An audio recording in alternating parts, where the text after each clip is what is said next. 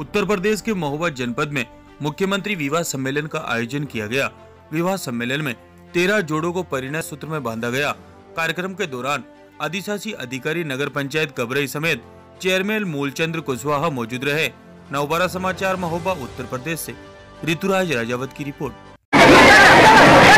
अधिकारी नगर पंचायत कबरई सिंह ये आज मुख्यमंत्री सामूहिक विवाह योजना के अंतर्गत कुल तेरह जोड़ों का आज हम लोगों ने विवाह संपन्न कराया और इसके अलावा लोगों के खाने पीने की व्यवस्था हमारे नगर पंचायत अध्यक्ष और मेरे द्वारा की गई। अब इन लोगों इस सारे लाभार्थियों के खाते में हमें पैंतीस पैंतीस हज़ार रुपये डालने हैं। दस हज़ार रुपये का उन्हें सामान देना है